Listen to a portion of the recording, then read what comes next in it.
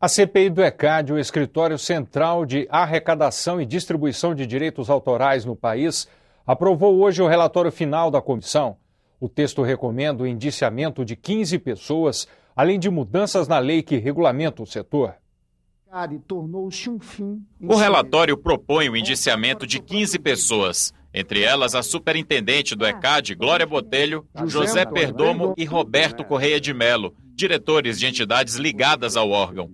Eles são acusados de falsidade ideológica, apropriação indébita, agiotagem e formação de cartel. Os pedidos de indiciamento foram encaminhados ao Ministério Público Federal.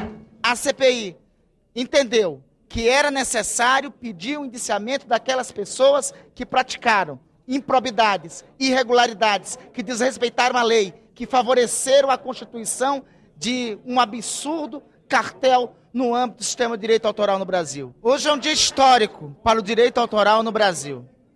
Ao longo de mais de 30 anos, o ECAD, que anteriormente havia se constituído em um avanço civilizatório para a política de direito autoral no Brasil, se degenerou. Vamos ao Ministério Público Federal, tanto como irão os senadores, dar as nossas explicações, mostrar, enfim, as inconsistências do relatório da CPI e esperar que, que, enfim, que a avaliação dos organismos efetivamente uh, competentes do Estado para a apreciação dos fatos dê a sua, a sua manifestação. É isso que nos conforta. O relator da CPI, senador Lindbergh Farias, também apresentou dois projetos de lei.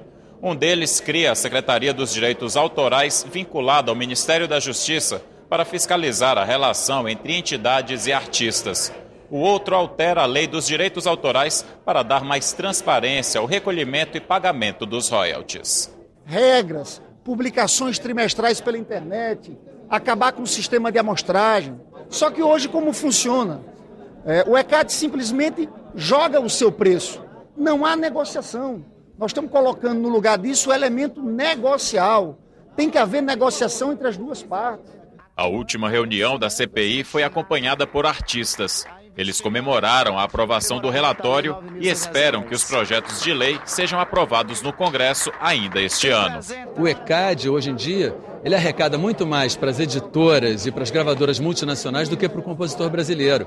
E para os seus funcionários, que ganham bônus, é, distribuição de lucros. Acho que não pode ter distribuição de lucro. Deu lucro é pro autor.